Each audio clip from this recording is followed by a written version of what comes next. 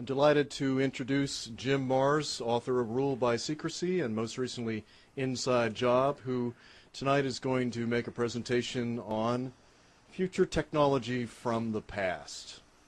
And without any further ado, I'm going to pass uh, the mic on to uh, Jim Marrs.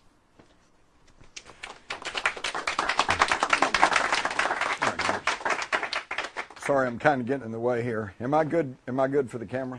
Okay. Have the mic working? Okay. All right, we're going to move real quick here because we don't have the time that I would really like to expend on this, but I think this is kind of a complicated uh, subject and a subject that most of you are probably totally unfamiliar with. So, uh, but I am going to hurry on through this because I think it's very important and I think it may give us an insight into our unparalleled and unsupported mad rush to occupy Iraq. Slide. If you go back to the Bible, you find what has been will be again. What has been done will be done again. There's nothing new under the sun. We think that we have the leading edge in technology. We are the apex of the world's civilizations. But I don't think this is true. More and more, despite the foot dragging and, and uh, uh, naysaying by archaeologists and uh, historians and everything else, we are more and more coming to learn that apparently at one point there was a planet-wide, highly technical civilization on this planet. And something happened. Uh, war and or geophysical changes, or both. And what we think of as our history beginning with the Sumerians, coming up to the Egyptians, Babylonians, and now up to the Greeks, Romans, Western civilization, of course, is what we're primarily talking about. Uh, that is nothing but the remnants of an earlier prehistoric civilization. The evidence is everywhere. The round balls of Guatemala, the pyramids all over the world, in China, in South America, Central America, Egypt, the ziggurats in Mesopotamia. All of the evidence is there. But it's only been within about the past hundred years that we've had the technology and or the knowledge to know anything about it. We're still pulling ourselves out of the dark ages. Let me start with a fellow named David Hudson. He was a Phoenix area farmer, and when I say a farmer, this is not a guy with a mule. He was a multi-million dollar uh, farm corporation. But he was having a hard time of it in the Phoenix area because the heat, the drought, it would dry up the soil. and He was really having problems. So he uh, got the bright idea of, of uh, putting uh, various uh, acids and chemicals into the ground to see if he couldn't loosen up the soil. And when he did, he noticed that there were some very odd properties to this soil. Slide. He used a copper electrowinning cell to separate the the metal from the ground, and he began to come up with these strange little sparkly mineral things that he couldn't quite figure out. And so he took it to some local chemists and local uh, and they couldn't quite figure it out either. And it turns out that actually what he was dealing with was an unknown, heretofore unknown property, a monatomic element. Slide. He named it an orbitally rearranged monatomic element. Interestingly enough, Orm E we find in ancient Hebrew meaning the tree of life. Isn't that interesting? And the reason he named it this because these were single atom elements, okay, that uh, were derived primarily from gold, silver, platinum metals. And uh, slide. He's, this was back in the 70s. By the late 80s and 90s, we see a number of scientific papers. This is being very much talked about in the scientific world, but is still not known to the general public, and it's pretty esoteric. These single element, single atom elements can be rearranged by orbitally changing the nucleus of the atom. Slide. Now, what he found was very unusual. When he was able to separate these monatomic elements from the uh, ground and from other elements, it produced, and under certain heat, heating procedures, he was able to produce a white powder. And when you put the white powder in a weighing pan, they found out the pan weighed less than it did before you put the powder in it. So it had some sort of anti-gravity property to it. Then it got stranger because they found out that if you heat treated it to a certain degree, the white powder would disappear. Well, now they get really got excited because they thought, uh, wow, you know, here's invisibility perhaps. And of course, then he started attracting attention from the big guys because who wouldn't want an invisible tank or an invisible plane? But what they found out was is that they'd stir around in the weighing pan, you know, and say, gee, I wonder where it went. And then when it cooled off and came back to the white powder, it was in the exact same configuration as when they first put it in the pan. In other words, it didn't just disappear. It went somewhere. Okay, so now we're finding that this manipulation of this atomic material can shift it into another dimension. All right? So now they're getting excited because, hey, maybe this is the key to understand unlocking faster than light drive, limitless free energy, dimensional time travel, and they also found that it had uh, physical properties, that you could ingest the white powder, and that it basically didn't heal you, it cleaned up your DNA and make you where you didn't have to be healed. So now we're talking about perhaps longevity because we all know that every few weeks or so, every cell in your body is regenerated. There's not a cell in your body today that's the same cell that was there, say, 10 years ago. All right? So why can't we live for hundreds of thousands of years if we just keep regenerating our cells? Because at the end of our DNA strand is what they call the telomerase caps. There's a cap on our DNA. And when it gets to a certain time in your life, those caps kick in and you quit reproducing the cells. And what happens then? You age and you die. Oxidation. Slide. Now we know today that the structure of the atom is a lot different than what I was taught in school. This is Walt Disney's version, you know, our friend the atom. And we now know the atom is composed of all this various things, which I won't bore you with, mainly because I don't even understand them myself, because I don't claim to be a scientist or a highly technical person. I'm just a reporter, okay? Slide. But the atom is totally different. But we also know that in the atom, the nucleus, and then you have your electrons and protons and neutrons. The atom is mostly space. This is what I mentioned earlier about the fact that even our reality, everything we think is really hard and solid, is really just made up of atoms, and within those atoms is an immense amount of space. And yet within those spaces, the, the energy generated by these neutrons and protons and stuff is absolutely immense. And we're finding out things about this continually. They, they recently found out that protons have mass. Okay? It's a complete surprise to me. I didn't even know they were Catholic.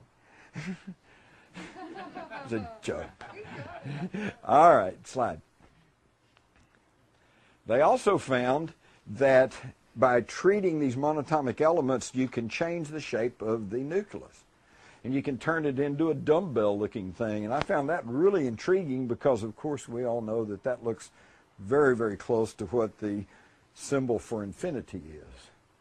So what we're dealing with here is the basic, build, basic building blocks of life, energy, the universe. Slide. it also could be what we're learning to adapt as fuel cell technology. Uh, they are finding that uh, you can read this for yourself. These are some fuel cells that they're experimenting with with United Technologies, and it's all based on energy conversion uh, rather than fossil fuel or burning something or whatever. So, in other words, this, of course, this technology that we're talking about would be of intense interest to energy executives and anyone who is heavily invested in the energy field. I'm going to here to tell you right now that there is tons of alternative energies out there. The reason we don't have it is because big guys have not figured out how to get a monopoly on it. If we go to hydrogen, you can take an electrolyzing plate, you can separate, uh, you know, what's water? H2O, two part hydrogen, one part oxygen.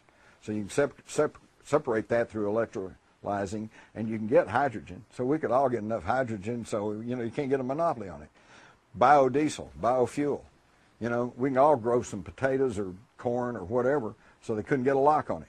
They're going to fuel cell because they got to figure out what to put in those fuel cells to make them work that we can't get, mm-hmm. and then we'll get it.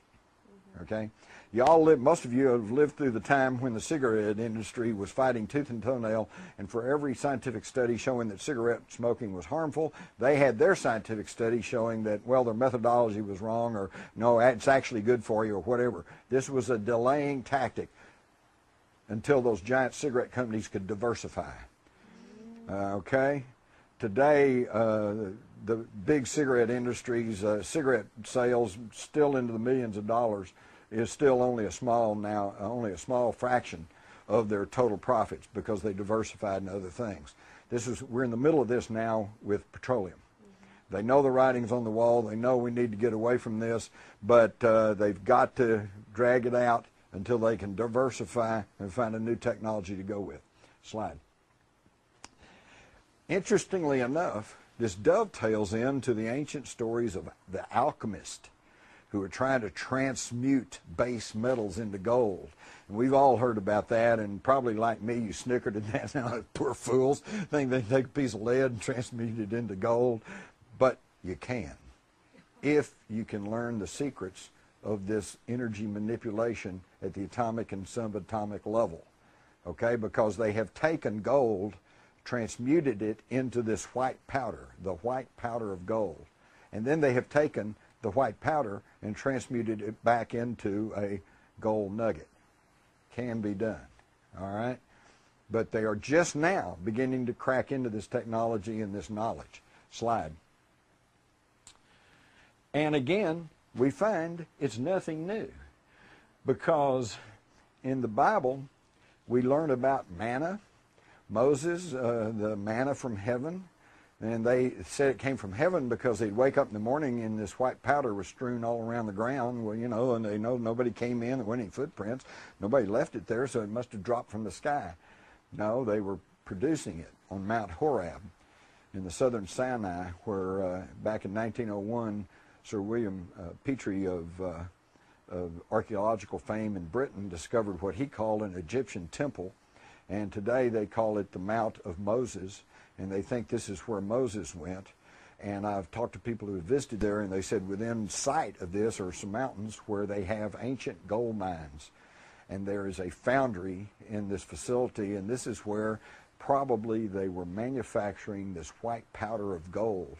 In fact, Petrie recorded that when they got there and they tore up the flagstones, they found all this white powder there, but they didn't know what it was. So they just, the wind blew it all away. This is, this is ancient knowledge. They knew how to do this. We, we learned that Ramesses the Great offers conical white bread to the hawk-headed god of Hathor. And then down here we see Amenhotep III receives the conical Shem-Anah, or the Methus, okay? And all of that basically means the same thing. Manna in ancient Hebrew means, what is it? They didn't know what it was. But certain of the priesthood, some of this knowledge which had been passed down from earlier civilizations had been passed through the priesthood, through the knowledgeable people, and they knew how to do it, but they didn't know what it was. So it was manna. What is it? Slide. Uh, you read in Exodus, when the dew had gone up in the face of the wilderness, a fine flake-like thing, fine as hoarfrost on, for, hoarfrost on the ground. And when the people, people of Israel saw it, they said to each other, What is it? Manna for they did not know what it was, and Moses said to them, It is the bread which the Lord has given you to eat. And they would take this powder and they'd mold it into little cakes and stuff, and they'd eat it. This was the manna that helped them survive in the wilderness all this time. Was this the white powder of gold? Slide. Um, this is really great. When Moses comes down off the mountain, and uh, he'd been gone for a long time, and he'd gotten the commandments and everything, and the children of Israel had gotten pretty impatient, and uh, they were wanting something better than their lot hanging around there. So they had they knew something about the gold was magical, and had real spiritual property. So they gathered all their gold and they built a golden calf, and they were worshiping it. When Moses comes down, he got real angry about it, and he says. Moses' anger burned hot, and he threw the tables out of his hand. He broke them at the foot of the mountain. And he took the calf which they had made and burnt it with fire, ground it to a powder, and made the children of Israel eat it. Okay? What the heck there? So we have these tantalizing things that, that, that this is a technology that was known back as far as biblical times. Slide. And then I've already mentioned Mount Horeb. This is a picture of Mount Horeb. And it holds the ruins which included this smelter where apparently they had uh, been, where Moses was actually manufacturing the white powder of gold. Slide. And of course, Moses, and we could get into a huge long discussion here because there seems to be some compelling evidence that Moses is not a name, it's a title. And it means the one true heir to the throne and that Moses, in actuality, we know from the Bible that Moses was a well-schooled Egyptian. He was a high-ranking Egyptian, uh, you know, and so there's a compelling argument to be made that has been accepted by many people like Mark Twain and and uh, uh, Arthur Conan Doyle and many other students of uh, hidden history that Moses was just kind of a title, and the actual pers- person was Amenhotep III, the Pharaoh, who then had changed his name and incurred the wrath of the Egyptian authorities when he became Akhenaten, the uh, worshiper of the one true God. And that's because he had learned about the one true God through his Hebrew uh, relatives, or the people who had actually raised him. Okay? Now, where did the Egyptians learn all this from? From the biblical patriarch Abraham, who had brought the knowledge of Sumeria to Egypt. Look in the Bible. Abraham was not a Jew. He was not even a Semite. He came from Ur of the Chaldees. Chaldea was simply an ancient term for Sumeria or Mesopotamia, what we now call Iraq. And there are the city of Ur is still over there, Uruk. A lot of these towns, in fact, most of those cities in ancient Sumeria were named after Abraham's relatives. Okay, so Abraham was not just some poor Jew wandering in the desert with a camel in a tent. He was a very prominent and probably royal Sumerian who brought the knowledge of the ancient Sumerians to Egypt. Shortly thereafter, the whole Egyptian civilization sprang full blown into existence. And what I found in researching rule by secrecy is that it was surprising to me. The earliest dynasties of Egypt were the most advanced. So the Egyptian civilization did not start, you know, from a primitive and then build into this exquisite, exquisite civilization. It started off as an exquisite civilization and then digressed and devolved. And all of it because of the information that goes back to Sumeria. Slide. So we can see that Abraham comes from Ur of the Chaldees, goes up to Haran, comes all the way through Canaan and ends up in Egypt. Slide. All of human history resides in Baghdad because that was the fountain of Western civilization for certain. Slide. The ancient Sumerians obviously knew a lot more than we even give them credit for. In this stele, we see that they made a representation of the solar system, correctly depicting not only the number of the planets, but the relationship of their size. This stele dates back probably about 6,000 years, far beyond the time of the Egyptians. It also shows Uranus and Neptune. Uranus was not discovered until 1781, Neptune in 1846, and Pluto, which they correctly show in their diagram, was not even discovered until 1930. So, see, we're not the apex of knowledge. We are just now regaining knowledge that was here centuries ago. Slide. We have the example of the Baghdad battery. They found this years ago. It's just a little ceramic jar with a little uh, copper tube that went in another little copper thing, and they couldn't figure out really what this was until somebody thought to put some grape juice in there. Put the tube in, and put the little copper point in there, and what happens? Lo and behold, you get a half volt of electricity. So they knew how to generate electricity. And they didn't have a huge power plant, just do it with a jar and some grape juice. They knew the manipulation of energy at the atomic and subatomic level. Slide. And how do we know they knew all this stuff? Because of the Sumerian clay tablets that are still in existence.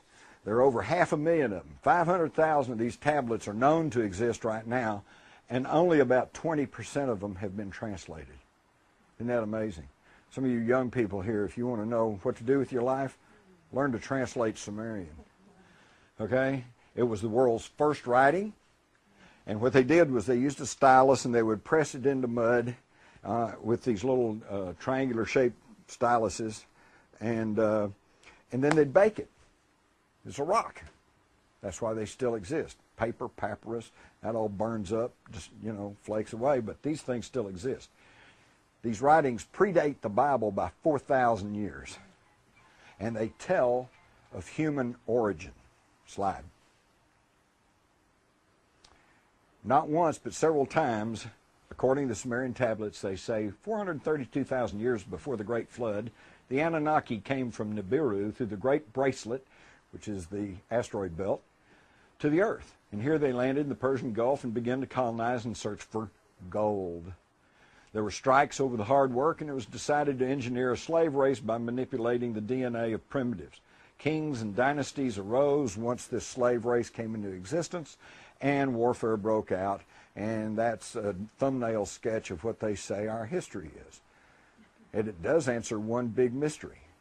For centuries, they've been looking for the missing link. We know Neanderthal existed, and then there was Cro Magnon, modern man. And they've been looking for the link in between. For years, they thought that there should be something in there because they must have mated and interbred, but now we know for certain that they did not interbreed because they are two separate species. And there is no missing link because they manipulated the DNA. Slide. Gilgamesh, the legendary Sumerian king, the world's first epic novel, thought to be mythical, and yet now they have now found what they believe is the tomb of Gilgamesh. The story is amazing. You really ought to read the story of uh, Gilgamesh. He, along with his non-human companion, Enkidu, and we don't know what, who, or what Enkidu was. Perhaps a robot, perhaps an organic robot, perhaps an alien. Who knows? But it, they made it very clear that he was not a human. And they go in search, trying to find the ancient gods, looking for the secret of immortality, longevity, the secret of the white powder of gold. Slide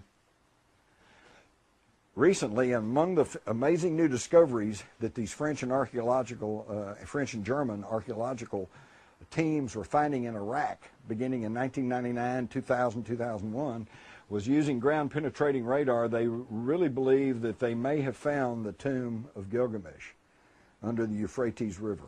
Slide. But anyway, they were finding all of these amazing new discoveries. Did they find the secret of the monatomic gold? Did they find the secret of longevity, of free energy, of time travel, star portals? If you can manipulate energy, you can go to another, another dimension. You could probably create a wormhole.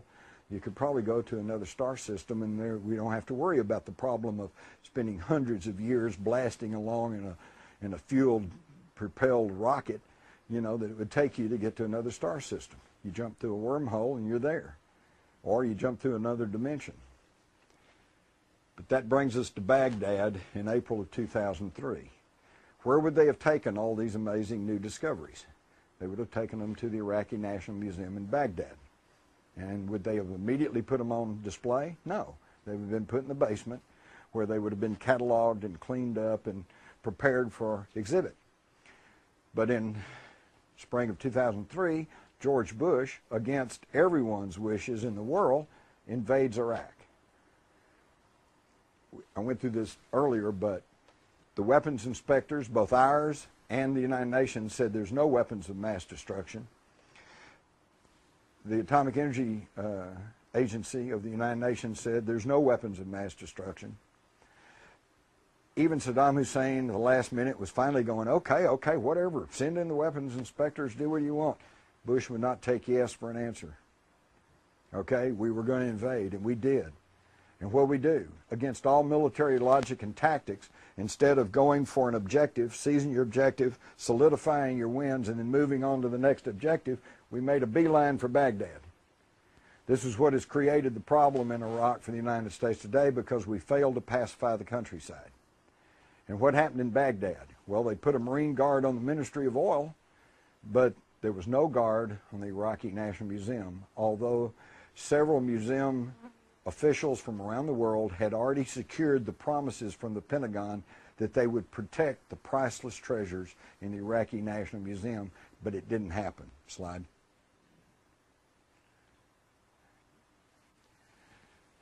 This, by the way, is uh, uh, the English version, and on the back is the Arabic version of some uh, uh fly, uh, flyers that, that the military occupation forces were handing out.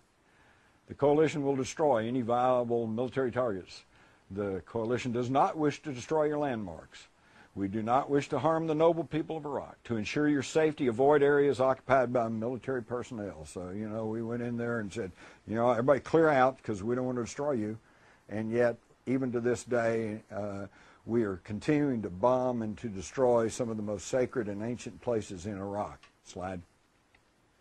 And this is what the Iraqi National Museum looked like after the looting. Everyone concerned said the looting was a, uh, done by an organized band. Now there were probably and undoubtedly some just some street people, some thugs that were hired to go in to give it the appearance of a looting mob. They went in, they sacked a lot of the upper floors, broke into exhibits, this, that, and the other thing. Slide. 170,000 items were looted. Slide. Ancient things dating back God knows how long. Gone. Slide. Safes opened up. Vaults opened up. Slide. Slide. But, of course, we did guard the oil ministry. Slide. Now, oops. Marine Colonel Matthew Bogdanos, Deputy Director of the Joint Interagency Coordination Group that investigated the looting of the Iraqi National Museum on orders of General Tommy Franks. The basement is what we've been calling the inside job. And I will say it forever like a mantra. It is inconceivable to me that the basement was breached and items stolen without an intimate knowledge of the museum, without a plan, without a conspiracy. From there, about 10,000 pieces were taken, and we've only recovered 650 approximately. That was in an article in Archaeology in January, February 2004. Now, what was in the basement? All the new stuff. Did they get the secrets of the monatomic gold? Slide we go back again and we, we learn, and I'm sure some of you have heard that Saddam Hussein considered himself the reincarnated Nebuchadnezzar. You didn't know that? And he was building, rebuilding Babylon, right? So maybe that was another reason we had to stop him. He might have been trying to restore the grandeur that was once there in this prehistoric civilization. Well, then that behooves us to take a look at King Nebuchadnezzar, and of course we mostly have to go to the Bible, but we find that King Nebuchadnezzar built what the Bible preachers will tell you is the fiery furnace. But what it was actually, and they give you the dimensions of it, it was a it was a big portal made of gold. Okay, again gold figures into all of this. Was he trying to make the white powder of gold? Well, he wasn't having much success, and he would send his people in there, but he, he was getting an energy field going because they'd go in there and they'd die. Does that sound a lot like the Ark of the Covenant, which a lot of people theorize may have been a capacitor to uh, manufacture the white powder of gold? Okay? So it, really angered Nebuchadnezzar, so he goes and gets three Hebrew priests, Shadrach, Meshach, and Abednego, and he brings them there to Babylon and he says, I want you to make this work for me. And they said, Well, you're not our king and you've conquered our people and we're not going to work for you. And he says, Well, all right, then I'm just going to throw you in there and then you're either going to sink or swim. You're going to die or you're going to get this thing working. Because what was Nebuchadnezzar trying to do? Same thing as Gilgamesh contact the ancient gods and learn the secret of immortality. Okay? So he takes Meshach, Shadrach, Meshach, and Abednego and uh, but interestingly enough, they don't just take them and throw them in there. First, it says they don their hats, coats, and other garments, put on their radiation suits or whatever, and they went in there and they're walking around in there. And Nebuchadnezzar, he's leery of the whole deal, so he's standing back to ask his minions, are they in there? Yeah. Are the, all three of them in there? Well, actually, there's four of them in there. Four? Who's the fourth one? The Son of God. Where'd this guy come from? Again, an indication that this could have been a portal to somewhere. And if it was the Son of God, I'd like to know what happened to him because there's never any more mention about that.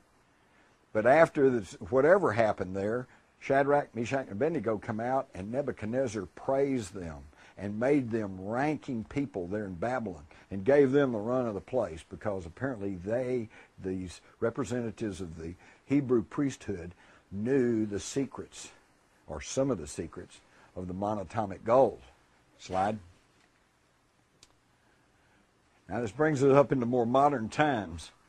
We find out that apparently the Nazis were onto this. We all know from the Indiana Jones movie that the Nazis were all after these occult things and the Ark of the Covenant and everything else. Why? Because they were religious? I don't think so. They were after these ancient secrets. They were after the ancient secrets of energy manipulation. And they began to get some of these secrets because they developed the world's first practical jet fighter, the Me-262, the V-2, the V-1, and when they overran Germany in 1945, what's on the drawing boards? Flying saucers, UFOs. They were working on them. And I have good reason to believe they were actually test flying them. In fact, if that war had stretched on maybe even another six months, there's no telling what they might have come up with. And who was in charge of all that? A very mysterious SS general by the name of Hans Kammler. He was in charge of the all of their leading edge technology. And he's the one that bought Werner von Braun and von Dornberger and the rest of them from Peenemünde and brought all the rocket research down into Munich. Why? I think because they were closer to the American lines and they wanted to give up to the Americans because they knew they'd be well treated and they knew that they could work their way into America, which is what they did through Operation Paperclip. Now, according to von Braun, he wanted to resume testing of the V2s and uh, told him, no, I'm going to hand the V2s and you folks over to the Americans in exchange for immunity.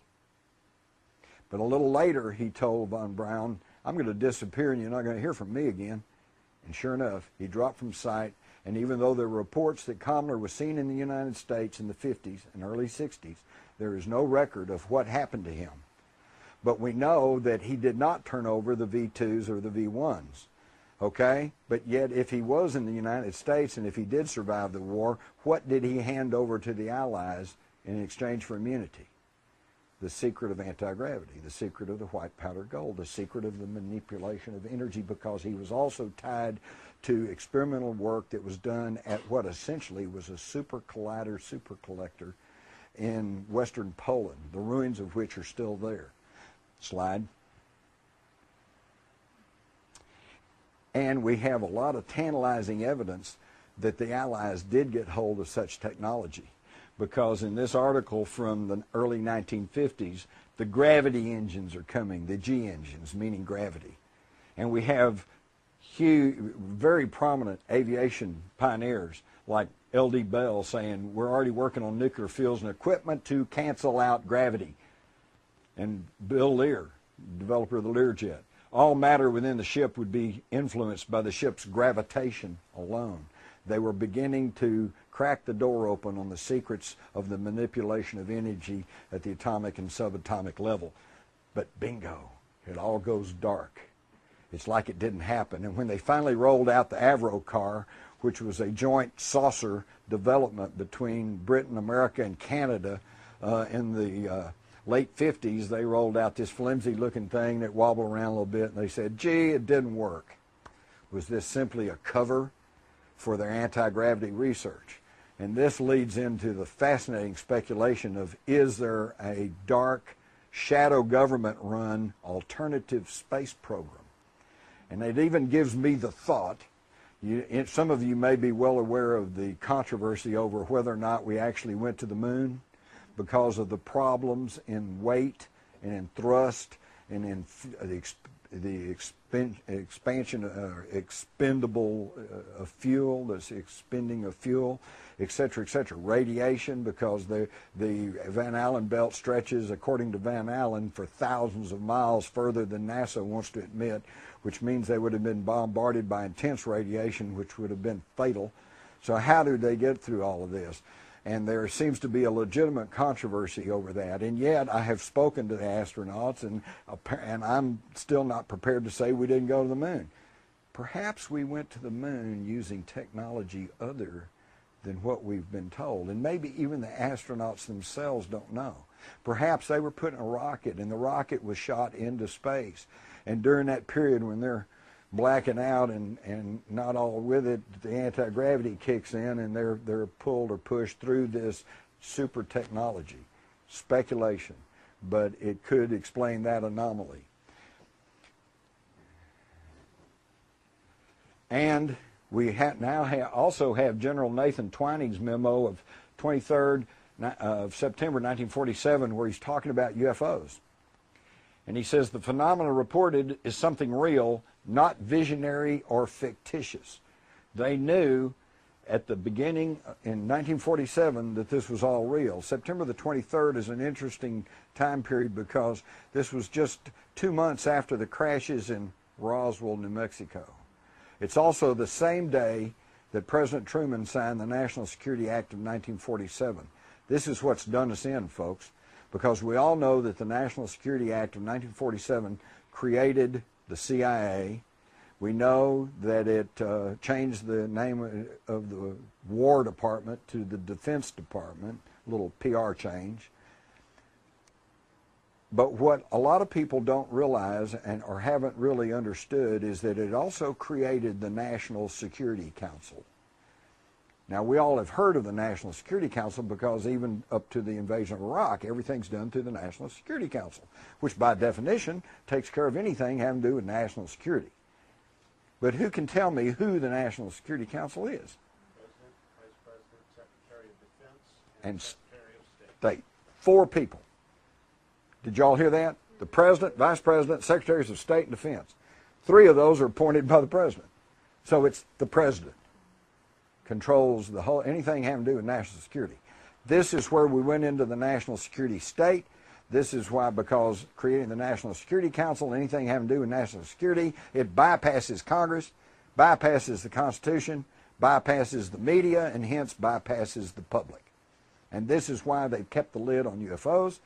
Why? Because they don't want people to know our deepest, darkest secrets, which is they are tampering with the basic building blocks of the universe manipulation of energy at the subatomic level. Slide. And by the way, in that same document, Twining says it is possible within the present U.S. knowledge, provided extensive detailed development is undertaken, to construct a piloted aircraft which has the general description of the object in subparagraph A, meaning a UFO. So in 1947, they were basically saying if we had a crash policy, we could build our own UFOs. And I think they've done it. And that's why when, uh, but don't get me wrong, I'm not saying that every UFO sighting is some sort of secret government test craft. A bunch of them are, but not all of them. In fact, there is good evidence to suggest that we are in a undeclared, uh, under the table, covert war with extraterrestrials. And we're not being told about it. And it kind of makes a mockery of freedom and democracy, doesn't it? And here's the Avro saucer, and they're all going, well, gee, it just didn't work. And that was the end of that. And this has never been talked about. In fact, to this very day, some of you probably understand what I'm saying. If you go to our centers of higher learning, or if you go to the large corporations, and you start talking about anti-gravity, they call the security guards and have you run out as some kind of nutcase. Because this has been so thoroughly blacked out because it is so real and it stretches back so far. Slide. So now we do know, and these pictures have suddenly surfaced, that they were building long past the 1950s Avro car. That they did have flying saucers operating, and they were able to fly.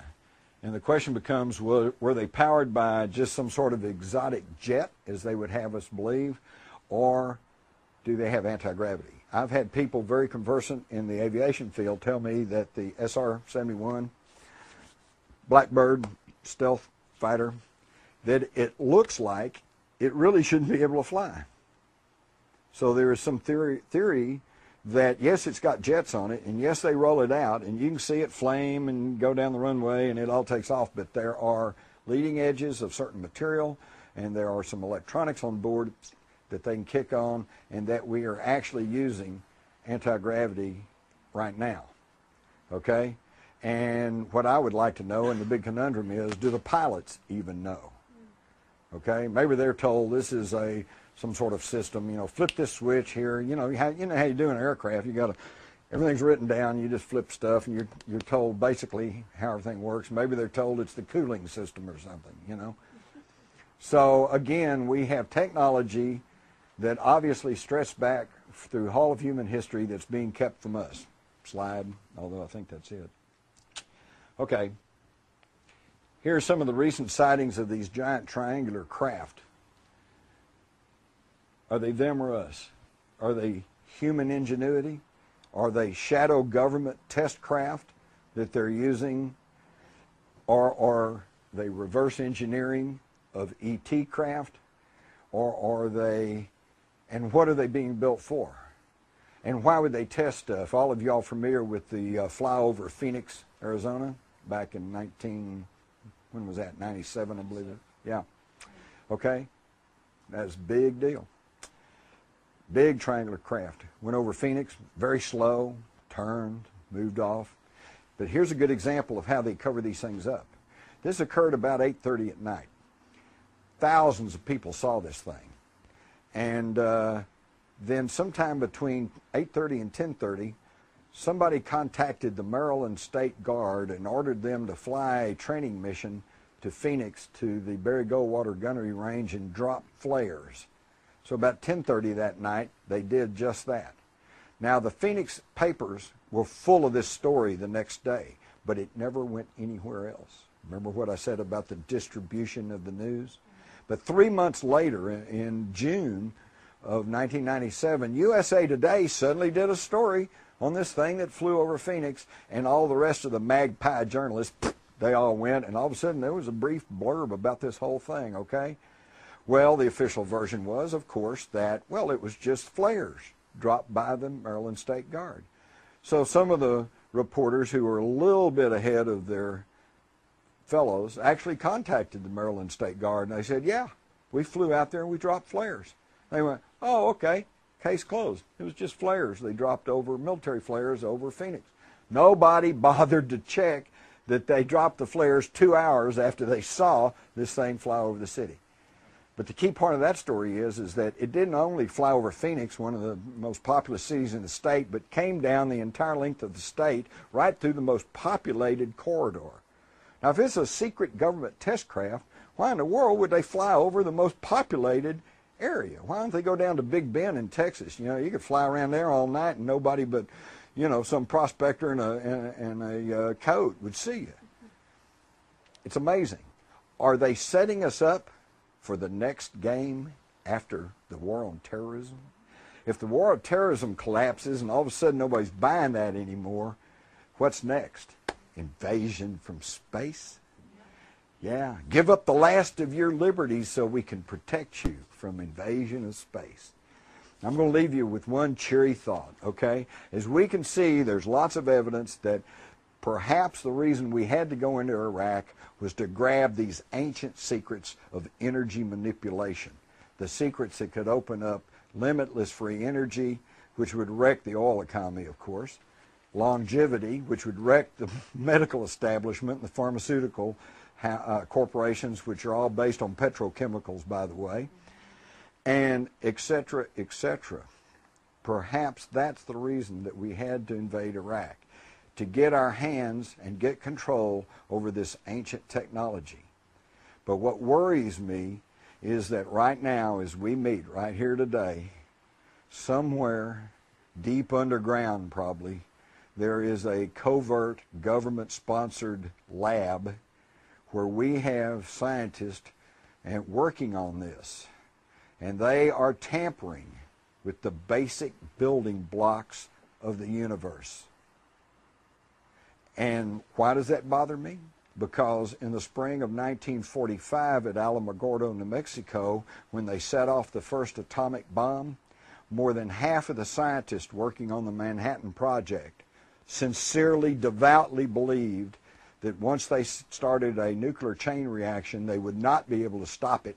It would ignite the atmosphere and it would incinerate the earth. But they set it off anyway. Whew. Glad we were wrong about that. That's pretty scary. Somebody says, well, let's try this. Flips a switch, and the whole universe winks out of existence.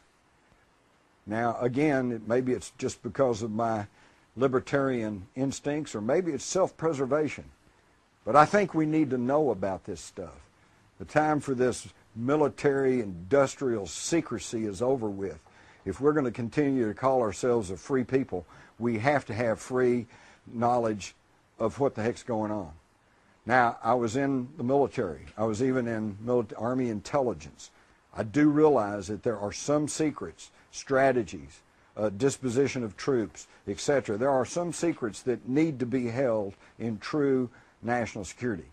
But when they're dealing with all our lives, all our futures, all of our possibilities for life on this planet, I'm afraid that that goes a little bit beyond just national security.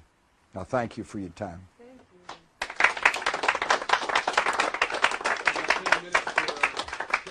All right. I, th- I thought I'd kind of run over my time there a little bit. Believe me, I hurried through that. There was a whole lot more we could have talked about. We'll start and go this way. Yeah. Are you pointing him or me? Yeah. Great, thanks. You left off with a comment that may be related, if not to come back to a little bit later, about who are they? Just before this. Oh. So just to plant that seed and that's my interest. Okay, we, you saw what the Sumerian tablet said. The Anunnaki come down, okay? And uh, these are these ETs colonized the planet, apparently. Okay. Now, one of the problems they had was they started interbreeding with these their worker race. Okay, and this produced the men of renown that the Bible refers to as the Nephilim. Go back in uh, Genesis and read what it says. It says the sons of God mated with the daughters of men and created the Nephilim. They are the hybrids. It's us. And then the hybrids, of course, kept going, and, and that's why on down today, we're all related to these star people, because that's where we came from. But now there are some among us who are more related than others. And this is why, beginning with the Pharaohs, the Babylonians, and the Egyptians, and the, the Caesars, and the kings, the monarchies of Europe, the Nazis, what was their big concern? The bloodline the bloodline. You, whoever the rulers think that they have the right to rule the rest of us human cattle because they uh, are of the more direct bloodline. And that is your they. Okay, now we could get into names, some of which you would recognize, like the Rockefellers and the Rothschilds, but then there's other lots of other names, the black nobility of Europe. Go get a roster of the Bilderbergers, and you'll pretty much figure out who they are. No, no, no. They created them while they're here. In fact, um, he, uh, this fellow back here pointed out that, that it didn't all start in Mesopotamia, it started in Africa. And he's absolutely correct, okay? But if you read the tablets, you'll find that the, oh, it gets complicated, but uh, there was a being known as Enlil who was the mission commander and they they initially they landed in the uh, Persian Gulf, and initially they began to try to extract gold from the water, but that was a slow, tedious process, and they weren't getting much gold. So that's when they decided they had to go out and start excavating for gold. And so now you find ancient gold mines in Africa, in South America, in uh, China. Okay, so they were all over the world. Okay, and eventually they built up this worldwide civilization, which then somehow collapsed, either through wars and or uh, geological, geophysical changes, okay? But their science officer was a, a being known as Enki. And Enki and Enlil were actually half brothers. And so there was some rivalry there because um, over who was going to be commander. Enki ends up, this is all according to these tablets that predate the Bible by 4,000 years. Enki ends up in the Abzu, which has been translated as Africa. And it was Enki, they were, there was some strikes, there was some revolts among the Anunnaki who said the work is hard. We don't like being in these mines digging for this gold.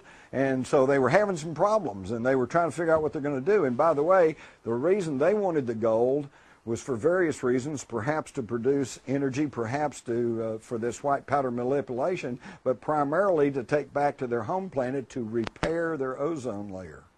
And this is the exact same thing that Edward Teller and others have proposed in, in repairing our own ozone layer is to put gold, powdered gold, which is a highly conductive metal, and seed it into the upper atmosphere to seal off these ozone holes. Okay, so they said, okay, what are we going to do about this? And Enki is the one who said, well, I got a solution. Instead of abandoning this planet or, or killing all the workers because they won't work, why don't we create a slave race, a worker race, okay? And interestingly enough, they had the same arguments that we have. They said, well, it's not up to us to play God. And his counter argument was, was that number one, we're not playing God because we're not creating some new race. We're just tweaking the DNA of an existing being, okay? And two, we, it's, it's, we need this so that we can get the goal we need and all like that. And his view prevailed. And then in the tablets, they tell you how this was accomplished. They took the ovum of a primitive earth female, shall we call her Lucy? and they impregnated it with the sperm of a Anunnaki male, and then implanted the fertilized egg in the womb of an Anunnaki female, who carried it to term, did not have a natural childbirth, but had a cesarean childbirth, and it produced what they call the Adama, the Adam, the first hybrid. Okay? And initially, these hybrids were like mules. They could not procreate. So they had to keep creating all their workers, okay? It's a long, lengthy, fascinating story. But eventually there was the, the whole thing here, but eventually they finally tweaked it to the point to where the mules could reproduce, and this is where we have modern man. Yes? What about scientists that have mysteriously died or disappeared? Any connection with these laboratories underground? Are you talking about the uh, bi- microbiologist? Yes, that's pretty spooky too, because I am well aware of that. There's a whole spa- how many are there now? 14 or something like that? 18. There's a, a dozen or more of the world's most preeminent microbiologists who suddenly, in the wake of the anthrax attacks, suddenly died or disappeared and never been heard from. Why? Because they could have told us where that anthrax came from, even though it's now leaked out that it was weapons grade and that it could only have been produced by the United States. And yet nobody has been caught. Nobody's been prosecuted for this. Deadly attack. People died. And it also worries me because if there is another major anthrax attacks against a, against some civilian population, say in Los Angeles or San Francisco or whatever, where are the guys who are going to come say, well, here's what you do about it? Here's the antidote. Well, I just wanted to add something to that. There, there's some people think that these microbiologists were connected with the study of gene-specific diseases, Mhm. uh, that, that maybe SARS is a representative of, Mhm. uh, and that, that can uh, that can affect different populations that maybe have blue eyes or, or black skin or, or whatever. When the, when the Israelis like to prevent a, like to uh, design a disease that would only attack Arabs. I know it. That's the problem. In fact, yes, that they've been working on that ever since Vietnam. In Vietnam, they were trying to come up with some uh, with some pathogens that would attack Asians. It's really spooky. That's why I say we got to get rid of this secrecy. We got to get rid of this national security state for our own protection. Because see, here's the whole key to freedom. If I allow any law, any policy which restricts somebody else's freedom, I'm not free. Because once you allow that, then what's to protect you? Nothing. The, you know, Pastor Martin Niemöller in Germany pretty well articulated that. He said, well, they came for the Jews, but I wasn't Jewish, so I didn't say anything. He said they came for the uh, uh, for the uh, Masons, but I wasn't a Mason, so I didn't say anything. Came for the Gypsies, but I wasn't a Gypsy, so I didn't say anything. He said when they came for me, I didn't have anybody to turn to. The only way that we can guarantee our personal freedom is to guarantee everybody's personal freedom, even the ones you don't like, even your skinhead Nazis, even your weirdos, even your, you know, yes, even the Republicans. You know, we've got to guarantee everybody's personal freedom because once you get the ball rolling in curtailing freedom, then there's no stopping it and there's no guarantee that you won't get caught up in it. And they'll say, everybody with a beard, you go to the camp. Okay? Yes.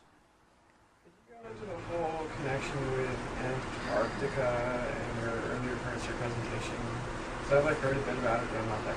About Antarctica, oh my God! Well, we could we could have another whole whole presentation on that. That gets into Agartha, the Nazi base down there, Queen Maud's land, which they renamed Neuschwaben land. That was where all the submarines were heading after World War II. Uh, the, and then you get into the more modern times when they found the lake under there, like Vostok, and the warm lake under Atlant- uh, Antarctica. There's all sorts of stuff going on in Antarctica. Perhaps this is one of the places where they are studying these microorganisms, because if you'll recall, they suddenly had a bunch of doctors and medical personnel that they had to evacuate out of Antarctica. And by the way, I don't know if it's still that way, but at one point they pretty well had sealed off. Antarctica is one of those places that us free Americans really can't just go to. You know, you can't just say, oh, I want a ticket to Antarctica. I'm going to go down and look around. Uh, there's all kinds of stuff. But to me, the main concern with Antarctica is the Ross Ice Shelf because it's melting. All right. Uh, the North Pole. The U.S. Navy uh, meteorological station at the North Pole said there will be no ice at the North Pole by 2015, which is pretty close. Okay? Now, that's not a big deal because um, at the North Pole, all the ice is sitting in water. So the volume will be the same. You're just going to have water instead of the ice, okay? But Antarctica is a different situation. You've got the Ross Ice Shelf, which is a huge, you know, probably the size of Texas or even bigger, that's sitting on a landmass. And it's not even, it's kind of at a slant, and it's being held essentially by an ice pin, okay, that's keeping it from sliding off into the South Atlantic, and that ice pin is melting, just like the North Pole. And by the way, they talk about global warming, but let me tell you something. It's bigger than that. The ice caps on Mars are melting.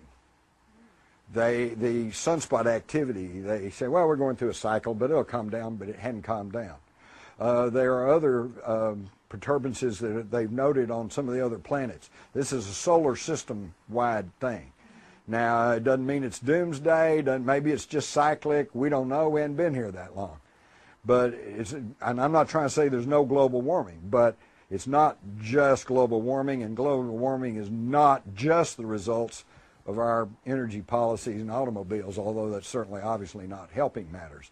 But the problem with Antarctica is if the pin melts and the Ross Ice Shelf slides off in the South Atlantic, it's going to raise the water tables around the world by about 12 feet, which would inundate New York, London, probably Paris, you know, San Francisco, Los Angeles. You know, we're going to have a real problem, okay?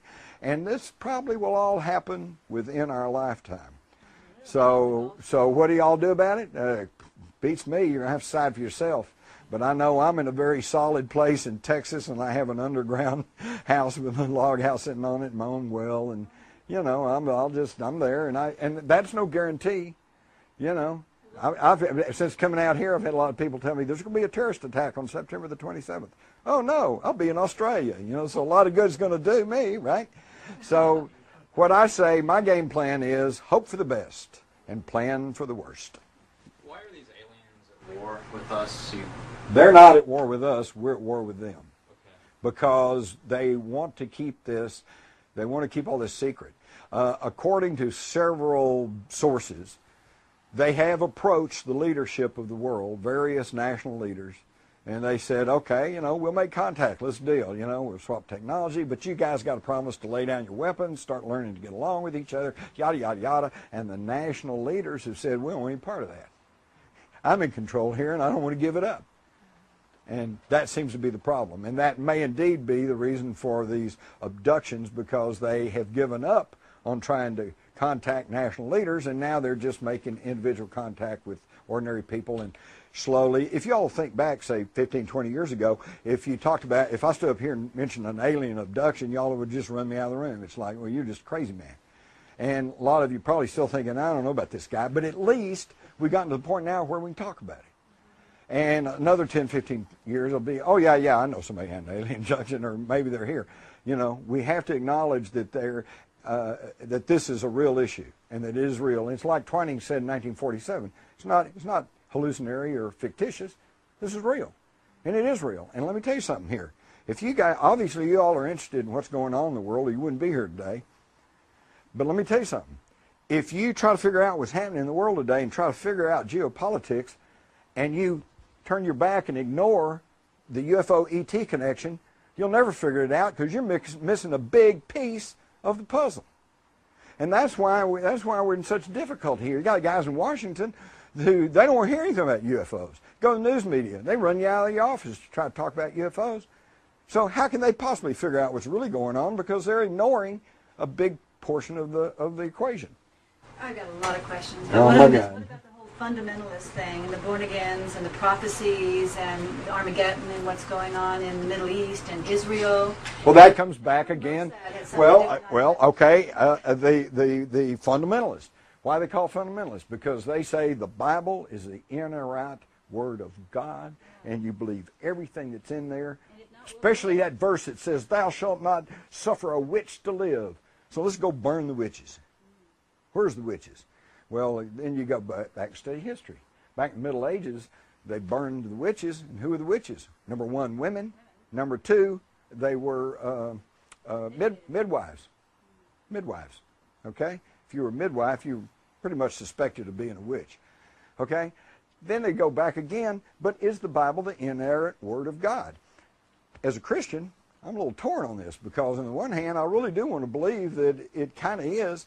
And in a general sense, I think the philosophies that are in the Bible are good, solid works. I think that it was an inspired work of writing. But what you have to understand is it's been edited, it's been jacked with for centuries. Another thing I found in studying the ancient Sumerian tablets, they tell you all about the flood. Okay? They tell you all about the flood. God came to this guy and said, hey, build an ark. Use pitch and bitumen to seal it.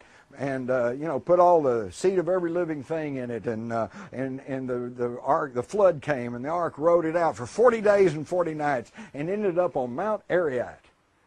Exact same story you see in the Bible, except in their tablets, the guy's name wasn't Noah, is Utnapishtim. And this was 4,000 years before the Bible was written. Okay? So the Bible may be the Word of God, it may be full of truths, but it is an amalgamation of history and stories and Sumerian history and things that have been passed along word of mouth. You know, most people don't realize that the Bible was not written down as a written document uh, up to within 300 years of the time of Christ. Okay? That's how recent all that is. Before that, it was word of mouth.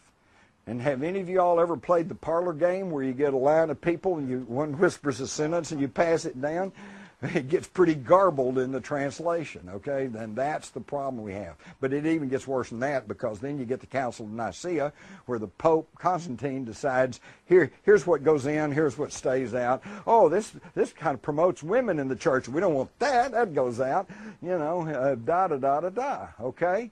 So you've got to understand that the Bible, in fundamental ways, may be very true and may be very inspired, but that in details, it's been, even the Bible scholars will tell you it's been heavily redacted, which is a fancy word meaning edited. okay? Is that it? Thank y'all.